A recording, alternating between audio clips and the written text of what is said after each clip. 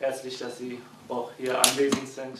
Almanya Türklere telekomünikasyon hizmeti veren D3 Mobile ile tanıştı. Evet, dediğim gibi e, yeniden cümleten hoş geldiniz. 13 yıldır sabit telefon alanında Halo.tel ile Almanya'da yaşayan yabancılara hizmet veren Tevfik Özcan, yeni ürünü D3 Mobile'ı basına tanıttı. Hattınız kapalıdır, görüşme imkanı olmaz.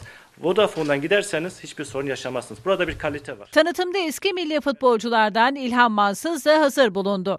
D3 Mobile, dünya çapında tüm ülkelere ama özellikle Türkiye'ye yönelik aramalarda getirdiği avantajlarla piyasada büyüyerek kalıcı olmayı hedefliyor.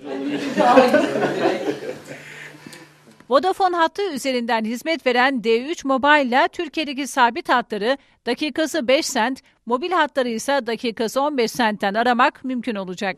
Ve bir yıldızla birlikte de gerçekten çok iyi yerlere gelebileceğinize inanıyorum. Tevfik Özcan ayrıca D3 Mobile hattı telefonların Türkiye'de pasif olarak kullanılması durumunda saatte sadece 75 sent ücretlendirme yapılacağı bilgisini verdi. Yaptığımız işi profesyonel yapmak.